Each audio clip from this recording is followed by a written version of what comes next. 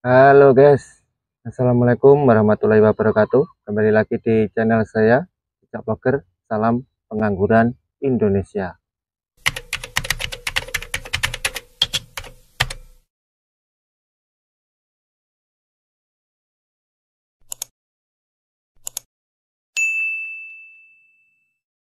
Di video kali ini saya sedang berada di sebuah tempat pemakaman umum ya.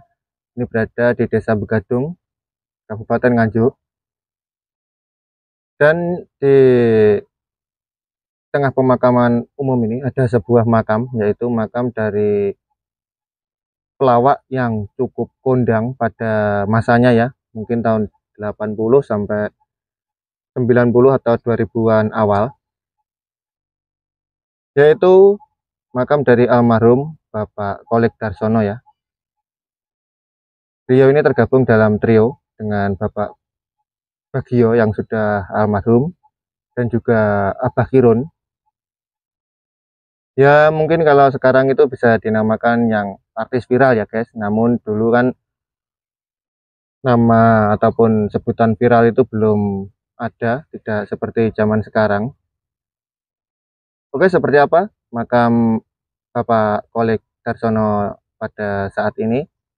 Ikuti terus video saya ini sampai akhir. Jangan lupa ditekan tombol like, komen, dan juga share ke akun-akun media sosial kalian. Supaya channel saya ini lebih berkembang untuk ke depannya. Langsung kita eksekusi saja ya guys. Let's go! Oke, jadi saya sudah berada di area pemakaman ya. Di tengah. Dan di sebelah kiri saya ini ini sebuah pohon yang cukup besar namun ini sudah mati ya. Tidak ada daunnya. Namun ini tidak roboh guys. Seperti biasa tempat pemakaman ini yang berada di Nganjuk ini sangat padat ya. Sangat banyak sekali ini. Apa namanya? Ijingannya. Tidak seperti makam-makam yang lain. Ya mungkin saja keluarga yang ada di sini yang ditinggalkan itu takut tergusur ya. Ini bisa dilihat sampah-sampahnya. Dan juga rumput. Ini sangat tidak terurus guys. Ini sangat disayangkan ya. Jadi ada juga makam itu yang bersih. Namun yang untuk kali ini tempat pemakaman umum dari Bapak Kolek Darsono yang akan saya kunjungi ini sangat kotor ini.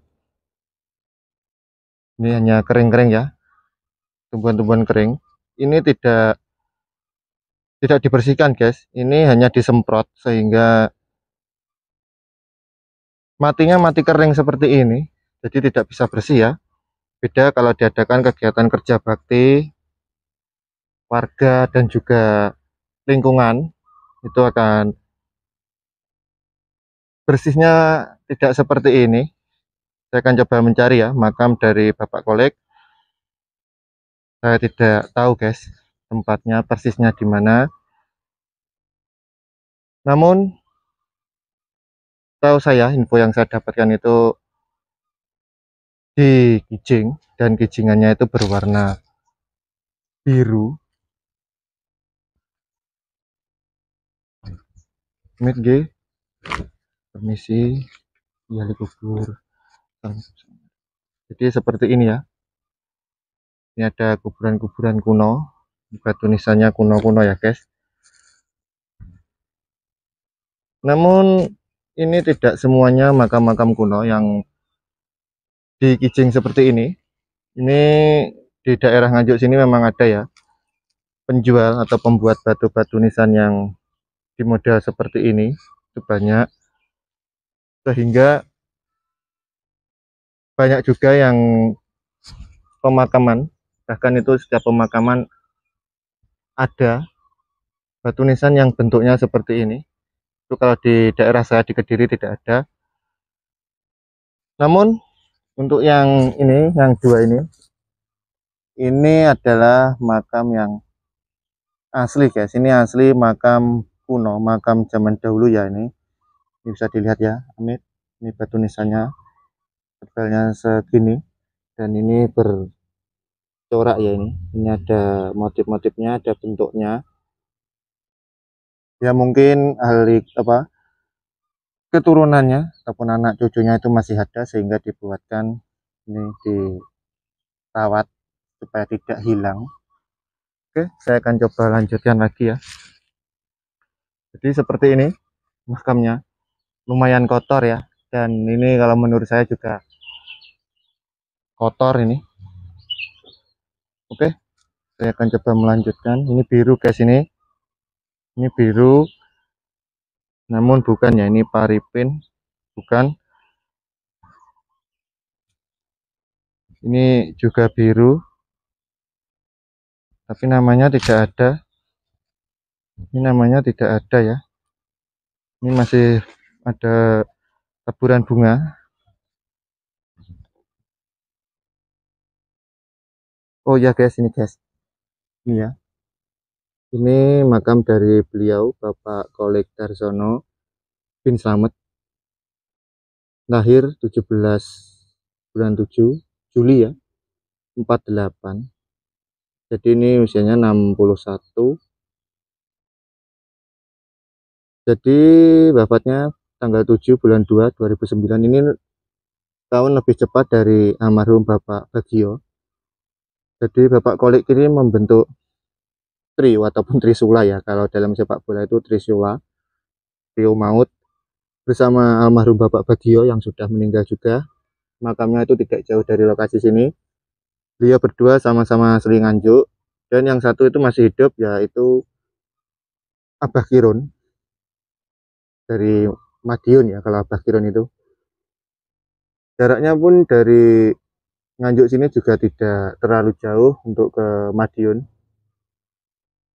Untuk makam artis ataupun ya artis pelawak kalau bahasa sekarangnya itu mungkin viral ya. Namun dulu saat Bapak Kolek ini almarhum Bapak Kolek ini masih eksis di dunia pertelevisian itu bahasa viral belum muncul tidak seperti sekarang. Untuk ukuran makamnya sangat simpel ya, bahkan sama dengan makam-makam yang lain. Tidak mewah tidak di marmer hanya di dijing dan dikasih keramik saja supaya tidak hilang supaya tidak tertindih oleh makam-makam yang lain ya. Ini saya akan coba bersihkan daun-daun ini supaya tinggal bunga-bunga saja. Ya mungkin ini habis di sekar ataupun diziarahi oleh keluarganya ya guys banyak sekali daun-daun kering. Ya seharusnya ini dibersihkan dulu di apa daun-daun yang kering ini dibuang lalu dikasihkan bunga-bunga ini yang dibuat mekar ini ya. Karena memang ajaran Rasulullah seperti itu bunga seperti ini kan bertasbih ya ikut mendoakan almarhum sampai bunga ini kering. Bapak Kolek Darsono, trio pelawak viral ataupun sukses pada masanya ya, tahun 80-an hingga awal 2000-an bersama almarhum Bapak Bagio dan juga Abah Kirun. Oke, saya akan coba kirim doa sebentar ya kepada almarhum Bapak Kolek Darsono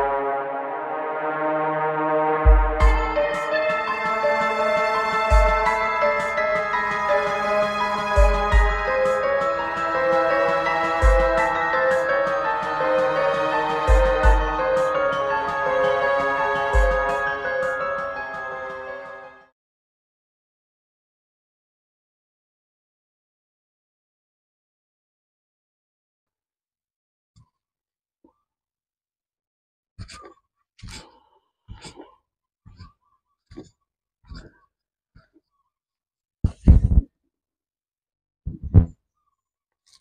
guys, saya sudah kirim doa dan saya akan pilih lagi ya. Ini ada lagi.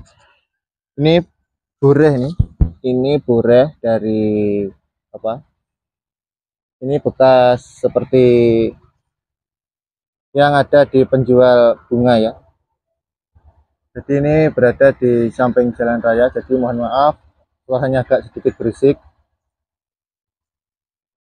sangat simpel sangat ala kadernya ya tidak seperti makam-makam artis zaman sekarang yang dikasih marmer dikasih gubuk atau bahkan di kerangkeng ataupun di pagar Jadi almarhum Bapak Kolik ini meninggal tahun 2009. Makamnya ya ini berwarna biru keungu-unguan. Sangat menyatu dengan warga ya. Seperti ini. Jadi ada dua faktor yang latar belakangi ziarah kubur itu tahu saya ya. Yang pertama mengingatkan kita akan adanya kematian karena sesuatu yang bernyawa pasti itu akan mati ya guys pasti jadi adanya jarak kubur itu supaya mengingatkan bagi kita yang hidup-hidup itu akan adanya ataupun tiba saatnya untuk kita seperti mereka ini meninggal dunia ya. Sendiri tidak ada temannya di dalam di dalam liang lahat tidak ada.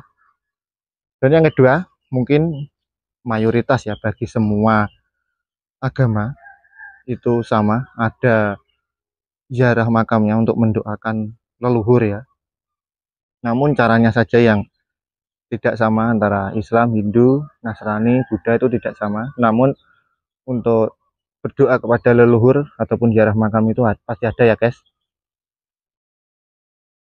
jadi untuk saya sebagai orang Islam ya umat Islam Muslim ya seperti ini hanya bisa mendoakan kasih bunga karena memang bunga seperti ini meskipun saya tidak membawa ya ini bekas berziarah ataupun mungkin keluarga karena ini ajaran Rasul untuk mengasih bunga ini supaya bertasbih ya bunganya supaya ikut mendoakan hingga bunga ini kering.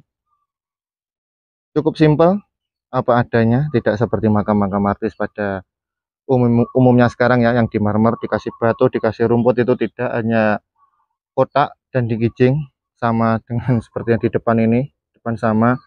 Ini menunjukkan bahwa bapak kulik ini tidak wah ya tidak hanya apa orang yang sederhana. Sangat simpel ya. Oke jadi ini tadi adalah makam bapak kolik kolik Darsono ya berwarna biru keunguan ini.